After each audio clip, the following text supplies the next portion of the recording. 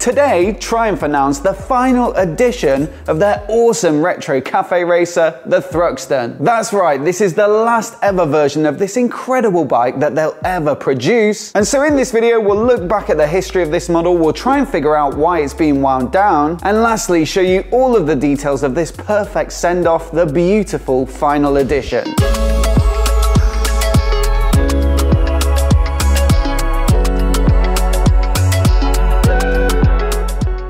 Now, the Thruxton name first appeared on a Triumph way back in 1965 with a limited edition racing bike based upon their Bonneville T120. The name comes from Thruxton Circuit in the UK, and this particular bike went on to win the top three places in the Thruxton 500 mile endurance race in 1969. After that, it was 35 years later that the name resurfaced with the Thruxton 900. This bike was built upon their air cooled twin cylinder Bonneville platform, but given a bit more of a racy edge with low clip-on bars, rear set foot pegs, and a fly screen and a seat cowl for that sporty solo look. Now that bike paved the way for the Thruxton 1200 that we know of today, which was first announced in 2016. The big update here was the move over to the liquid-cooled twin, offering much more performance with 97 horsepower peak as opposed to the 68 of the 900s. They also changed the character of this engine with a 270 degree crank for a bit more of a snarl at the exhaust, although perhaps less true to the Bonnevilles over the many years before it, which all used a 360 degree crank. Still, this bike offered plenty of punch in a beautifully designed form factor, which I think still to this day is one of the best proportioned bikes on the market. Initially, it was offered as the Thruxton or the Thruxton R, the latter of which had some tasty chassis upgrades, like a pair of Öhlins shocks, a gold anodized Showa big piston fork, and radially mounted Brembo M50 brake calipers. Early in 2019, there was the Thruxton TFC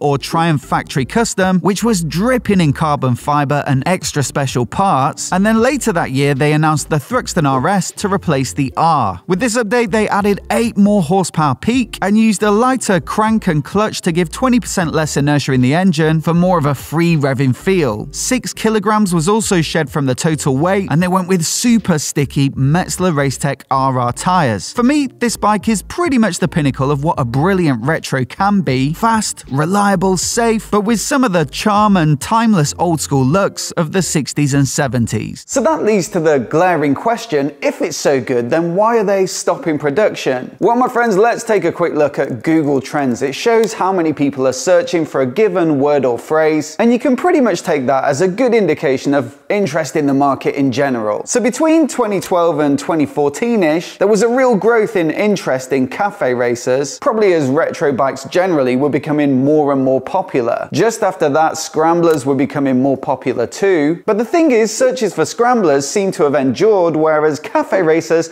have really tailed off in the last few years, almost to pre-2012 levels. So perhaps the whole cafe racer thing was a bit more of a brief fad. Now you can also look at DVLA figures to see how many of a certain make and model are on the road, and you could take that as a rough indication of how many they've sold. When the Thruxton 1200 was introduced back in 2016, almost 800 800 hit the road straight away, but the next year it was more like a couple of hundred, the year after that more like a hundred. Not huge figures, and by the time they introduced the RS, it's like 40 or 50 a year tops. Now contrast that with the Speed Twin 1200, a very similar bike with pretty much the same engine. It's got a sporty chassis as well, but it's just a lot more upright in the riding position. That launched later in 2018 and yet it still sells two or 300 bikes a year and there are far more of them on the road. This isn't specific to Triumph and the Thruxton as well. If you look at the Royal Enfield for example, the Continental GT Cafe Racer, there are far fewer of those than the Interceptor 650. So interest in cafe racers seems to be on the slide and the Thruxton isn't a massive seller, but that had me wondering, well why? So I put up a poll on my YouTube ahead of this announcement to ask you my audience audience, which would you buy, a Speed Twin or a Thruxton? The Thruxton is fun to ride for half an hour on a Sunday, but the Speed Twin is fun to ride all day, every day, said Max Fleming 1045. Speed Twin for sensibility and practicality, Thruxton for styling and specs, said Enquat 6388, and Speed Twin, less money, more comfortable, said David Bodden 8435. Now there were over 400 comments on that post, and apart from the odd exception, the overwhelming majority chose the Speed Twin because it's a much more practical and comfortable and versatile machine and at quite a significantly lower cost. The Thruxton RS, for example, that starts at 14,195 at the moment, whereas the Speed Twin 1200, that starts at 11,795, so near enough two and a half grand in your pocket. So look, is the comfort thing really that bad? Well, let's take one out for a spin and find out. But before we get on the road, I just want to say a massive thanks to Insta360 for sponsoring this video. We use their awesome X3 camera for all of our riding footage, and it's genuinely been a game changer for the way we shoot our rides. The best thing for me about a 360 camera like this is that you can mount it pretty much anywhere on the bike, and then use their software, either in the app or the desktop editor, to reframe your footage after the ride and choose some creative angles.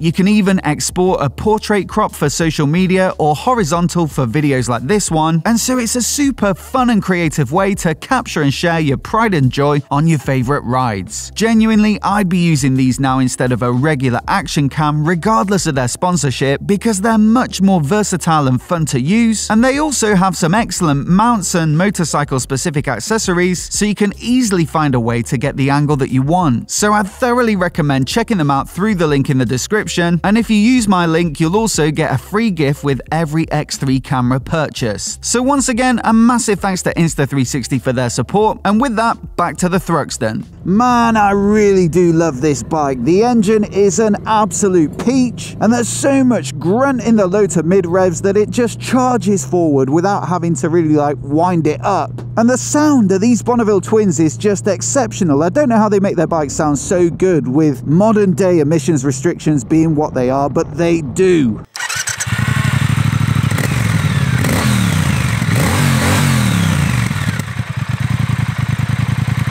You sort of feel a bit like you're on a sports bike. The braking power and feel is up there with the best modern bikes, and the handling feels like precise and nimble. I mean, granted, it's not the best day to be out on Metzeler race techs, but when it's warm and dry, they're incredible. And the only thing you'll notice versus something like a Speed Triple is that extra bit of weight on this bike. Being a retro, they've had to give it the looks, but stuff like the steel cradle frame, it's always going to be a touch more hefty than the way they build their modern roadsters. I think another big part of what makes this bike so awesome to ride is the looks. Now this is specifically a chrome edition that they released for 2023 and when you roll past the shop window and catch your reflection, we all do it, but it just looks super cool. Like I say, in my eyes it's like perfectly proportioned and the level of finish is top draw as you'd expect with one of these Triumph Modern Classics. Thing is, would I buy one though? Well I think it depends what it would be for. If I had the luxury of owning a few bikes, then this would make for an almost unbeatable Sunday toy for those warm countryside rides in the summer where you want to go quick